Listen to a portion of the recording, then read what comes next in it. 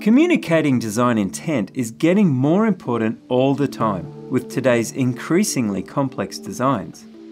With 3D PDF documentation of your PCB design, fabricators and project managers can get a much clearer understanding of your design intent.